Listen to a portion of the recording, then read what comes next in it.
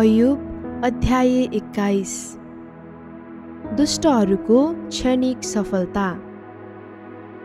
तब अयुबले जवाफ दिए सुन्नुहोस् कृपा गरी सुन्नुहोस्। यो नै तपाईँहरूले मलाई दिनुहुने सान्त्वना होस्। मैले कुरा गर्दा तपाईँहरूले सुनिदिनुहोस्। मैले बोलिसकेपछि तपाईँहरूको गिल्ला जारी रहोस्। के मेरो झगडा मानिसहरूसितको हो र म अधैर्य किन नहुने? मलाई हेर्नुहोस् र अवाक हुनुहोस् र हातले मुख छोप्नुहोस्।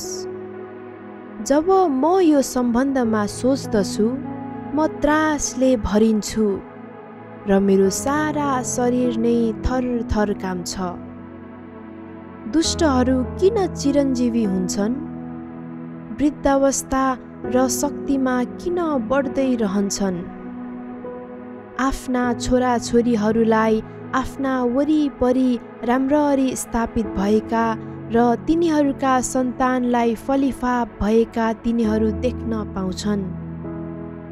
तिनीहरूका परिवारहरू सुरक्षित र डरबाट स्वतन्त्र हुन्छन्। परमेश्वरको न्यायको दण्ड तिनीहरूमाथि पर्दैन। तिनीहरूका बहर मिसिन्छन् र खेर जाँदैनन्। तिनीहरूका गाईहरू बिहाउँछन् तर तुहिँदैनन्। तिनीहरूका छोराछोरीहरू थुमाहरू झैँ खेल्न कुद्छन् र तिनीहरूका ससाना नानीहरू नाच्दै उफ्रन्छन्। खैजडी र बिनासित तिनीहरू आनन्द मनाउँछन् र बाँसुरीको स्वरमा तिनीहरू रमाउँछन्। सम्पन्नतामा नै तिनीहरूको जीवन बित्छ र शान्तिसित तिनीहरू चिहानमा जान्छन्। तापनि तिनीहरू परमेश्वरलाई भन्छन् हामीलाई छोडिदिनुहोस्। हामी तपाईँका मार्गहरू जान्न चाहन्नौ। सर्वशक्तिमान को हो र हामी उहाँको आराधना गरौँ? उहाँसँग प्रार्थना गरेर हामीले के पाउँछौँ र तर दुष्टहरूको उन्नति तिनीहरूको आफ्नै हातमा हुँदैन।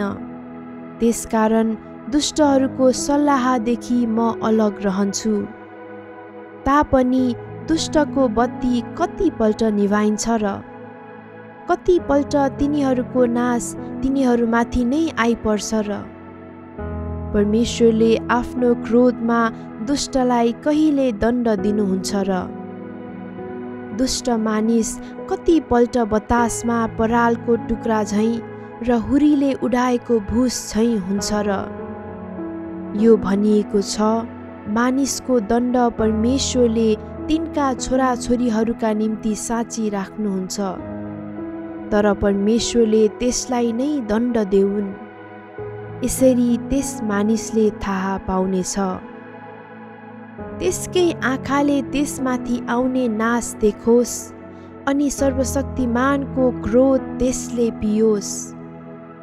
जब मानिसको आफ्नै जीवन समाप्त भएको छ भने के त्यसले आफ्ना छोराछोरीहरूको सुखको वास्ता गर्छ र के मानिसले परमेश्वरलाई ज्ञान सिकाउन सक्छ र? परमेश्वरलाई जसले स्वर्गमा हुनेहुनेहरूलाई पनि न्याय गर्नुहुन्छ। कोही मानिस त मृत्युको दिनसम्मै पुरा स्वस्थ रहेको हुन्छ। सुख र चैनमा त्यो मर्छ। त्यसको शरीर हृष्टपुष्ट हुन्छ। त्यसको हड्डीमा मासीले रसिलो भएकै हुँदा त्यो मर्छ। अर्को मानिस मनको तितोपनमै मर्छ। सुखको स्वाद त्यसले चाखेकै हुँदैन। ती सबै माटोमा सँगसँगै गाडिन्छन् अनि किराहरू नै तिनीहरूका कात्रो भएका हुन्छन्। तपाईँहरू के सम्झँदै हुनुहुन्छ? मलाई राम्ररी थाहा छ। र मेरो विरुद्धमा रचिरहेका तपाईँहरूको योजनाहरू मलाई थाहा छ। अब त्यो ठुलो मानिसको घर कहाँ छ? खोइ त्यो दुष्टको घर के भयो? भनी तपाईँहरू मलाई सोध्नुहुनेछ।